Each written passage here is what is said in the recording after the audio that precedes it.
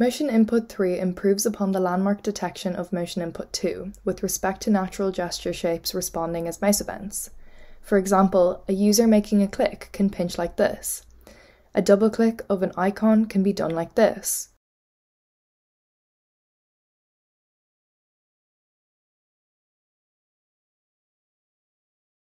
Dragging can be done like this.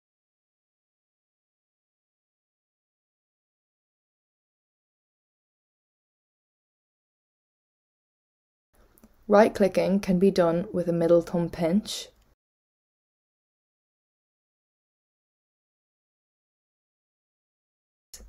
Scrolling a page like this.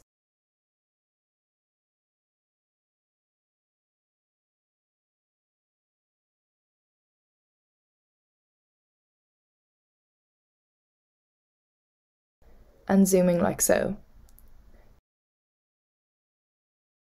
Given the higher accuracy and the new architecture that works at scale, it's now possible to have several shapes recognized for each mouse movement.